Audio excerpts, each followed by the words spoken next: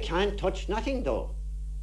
I am barred by the group as being a captain and a dancer. When all is over, I can drink what I like. But of course, it grieves me, I might as well tell you the truth, to see all the boys drinking plenty porter in every house, which we, they, we gets going down. And all I can drink is a, a mineral. That's the rules they make with me. And I can see all my band fine and hearty and hardly able to play when it'll nearly finishing up. They'd be so hearty as that with drunk. Well, do you normally like a drink, Sonny? Oh, sure, all my life. As a matter of fact, I was fed in drink. You seem to suggest now that there's welcome for you everywhere. Is there any door slammed against There was you? never a door closed in, in his life. Jack, you're, I think, 79 years of age. I am. Are you going out with the Wren boys this uh, St. Stephen's Day? Oh, indeed, you may be sure I am. If I didn't go out with the on, boys, when I'd see him coming to the house, I'd get as lonesome as could be. Thinking of old times. The very, the very minute I'd hear the music, thinking of all times. Do you actually play yourself? I do. The first time that I ever went in the run, I was only 12 years of age. And a concertina I used to play at that time.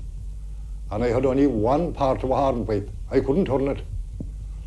But I went with the big lads in the run. They had no other player. But the, the one part of the hornpipe done them all right for dancing inside in the houses.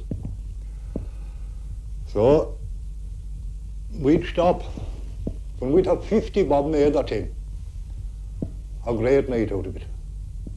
You'll get a half tiers of stout that time for a pound. 16 gallons. You'll get a bucket of jam for, for, for 10 pence.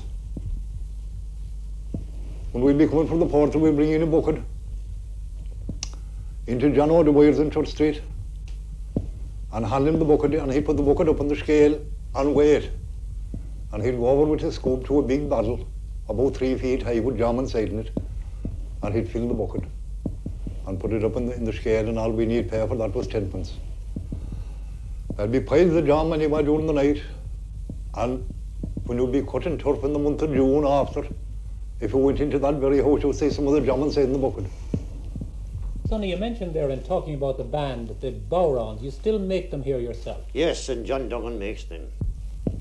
First of all, you er look out er for a worn sieve for sieving oats or gravel. A sieve. And uh, you would have the rim, then you see, the good firm rim. Look out for a goat anyway. And skin the goat. And shake a grain of lime in the hairy side of the skin and fold it up. And if you have any kind of an animal with stable manure, bury it in it for about four days. Take it up and all the hair will come free out of it. And then, if you're not in a hurry, you could nail the skin onto a door to keep it in, in, in uh, good order like. Well then, when to be kind of half sergeant, nailed it onto the verge of your rim, all around, clap it down in the rim, and turn down a little bit and tack it very close all round. But remember to keep it pulled well. Hang it up then for a, about a day and rub a bit of ration to it, ground ration, and make Uh, a, a stick for, for, for tipping it with an and edge in it about nine inches long and a lobe in the middle of it to get into your finger. Well, you can heat the tambourine onto the fire then and tip away and you're not a genius if you weren't able to work the two ends of the kipping. Well, must it be goat skin, Jack? Goat skin, well, if you have no goat skin, if you got a greyhound, an old greyhound, and to skin him, the greyhound would be the best, but any dog would do. But skin the greyhound and tanned the skin the very same as the goat, And you had a lovely tambourine, a nice thin skin. So the dog would do just as good.